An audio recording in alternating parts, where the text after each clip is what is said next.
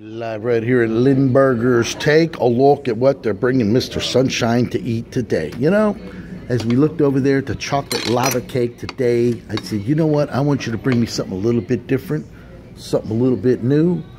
And this is what they're serving up Mr. Sunshine. Take a look at this.